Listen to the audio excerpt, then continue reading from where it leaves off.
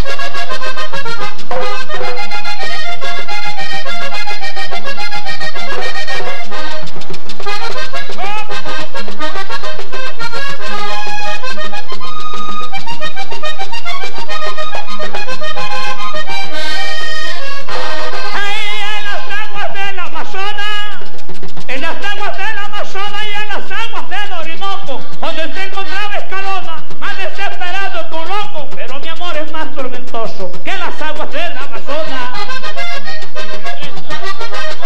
Ay, pero mi amor es más tormentoso que las aguas del Amazonas.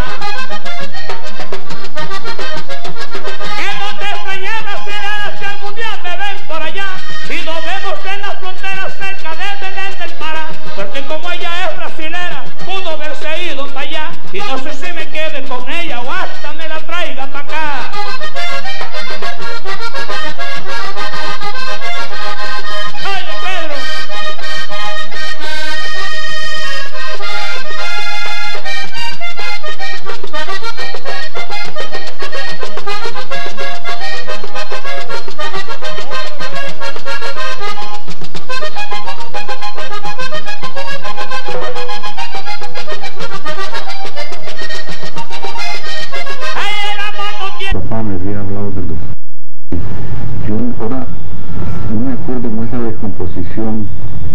física del agua cuando se transforma pues en las gotas y se convierte en arcoíris. Eso para mí era un misterio y quiero que siga siendo. Pero yo me preguntaba pero bueno yo pintaba con lápices de colores no había otra cosa ni yo las conocía. Y yo vivía con Molina y decía, pero bueno, ¿y ese pintor donde consiguió esos lápices tan grandes? Y ese papel, para atravesar de allá del Perijá, de allá de Cesar hasta acá, hasta la Nevada, pintando ese arco iris. ¿Y cómo haría para subirse allá? Y para mí eso seguía siendo un misterio. Y eso nunca lo pude olvidar. Dicen que cuando Cristo comenzaba llegó del occidente, el enjambre errante de los ríos, al sacarle su pico la espina clavada en la frente. Ocurrió lo que tenía que ocurrir, que nació una persona, nació una niña que se llamó, se llama Adaluz. Adaluz en síntesis, hablemos sinceramente, es la aspiración, un detalle tan tradicionalmente vivido del padre, de la madre, es decir, de la canción de cuna. Yo recuerdo, y todos mis amigos también como yo, que el más, el que menos, hacendado, rico o pobre, recuerda que toda familia donde se encontrara, de acuerdo a sus modos económicos, sociales, tiene una canción, lo que se llama la canción de cuna. si me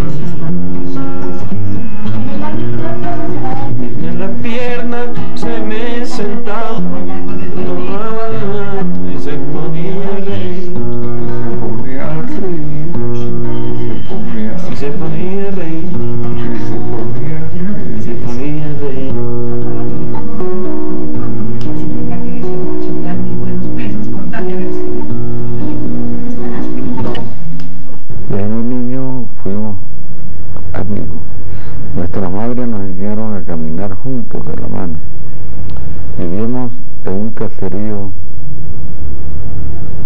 en un campo de recreo, de pastoreo, a 20 kilómetros de Valledupar, entre las estribaciones de la Sierra Nevada y otras estribaciones dimanadas de este mismo promontorio y de ríos como el río Avillo, Guatapurí y el Cesar. Nos levantamos en ese caserío de cuarenta y tantos casitas de derecha y ahí mi mamá con la mamá de Jaime nos enseñaron a caminar juntos y siempre hubo entre nosotros la afinidad, el cariño permanente, la devoción, la amistad. Así nos hicimos grandes, grandecitos y más grandes. Y compartimos ya no las inquietudes del tronco, la cauchera, de las cosas, sino ya de lo positivo, de las averiguaciones, de los comentarios, del político, del por qué hablaba el uno, por qué hablaba el otro. Y después nuestras propias actividades tan personales, tan personales. Y compartimos nuestro sistema de vida, nuestros sentimientos, hasta nuestras intimidades, de consultarnos y por qué uno no había. Con ella se debía hacer eso y con otras eso no se debía hacer. Yo sé que si usted tiene un amigo, te explicará lo que es intimidad. No se puede hablar de esto por hablar ni por escribirlo. Es en balde. Quien no entienda el lenguaje de los sentimientos, no puede entender un lenguaje escrito. El lenguaje de la amistad no se escribe, se siente, se vive.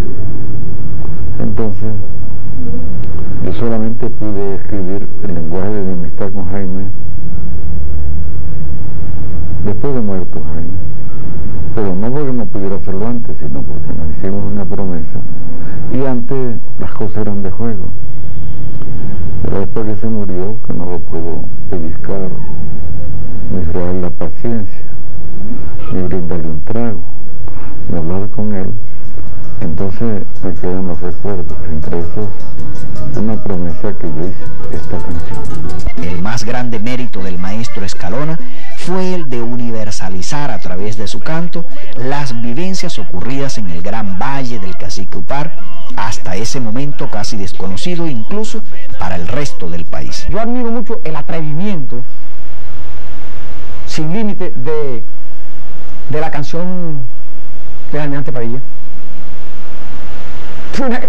Nadie se da cuenta que una canción, una canción protesta como ninguna otra, capaz de decirle barco pirata bandido al barco insigne de, Colombia, porque le había quitado el contrabando al amigo de él. es una canción muy atrevida. ¿Tú te has caído en cuenta eso? Barco pirata bandido que Santo Tomás te vea, o sea, una maldición, porque le quitó el contrabando al amigo de él. Pero yo debo de, de dejar muy bien esclarecido que a mí aquí no me trajo ninguna violencia, ningún estado pues, de alejarme de mi tierra, por sentirme amenazado en lo jamás. Yo quería estar con los cachacos. Yo quería saber por qué se escriben cosas, por qué se hacen películas, por qué esas canciones se graban, las de nosotros no. Porque hay personas que tienen tanto merecimiento y quedan recluidos en un rincón de una provincia. Y otras personas que no tienen ese igual merecimiento, parece que le pusieron un lucero, una estrella en la frente, y se hacen grandes del amanecer al mediodía, del mediodía al atardecer y vuelven a resplandecer. Pero no fue una, un egocentrismo vanidoso. Me quise quedar aquí, yo qué iba a hacer allá. Y aquí comencé con una idea de, de estar lejos, pero muy cerca de mi tierra. Podía hacer cosas que allá no las podía hacer. Aquí tenía un contingente de amigos de buenos amigos, desde el presidente de la República, ministros, que yo podía servirle a mi tierra sin hacer campaña política porque nunca la he hecho. Y así creo, ojalá que lo reconozca. Y si no, pues yo no estoy molesto por eso. Y me quedé aquí, pues allá, ¿qué empleo iba a tener? Alcalde, sí, me iban a elegir, pero yo era el gran maestro de y a los 15 días el gran sinvergüenza, el gran bellaco.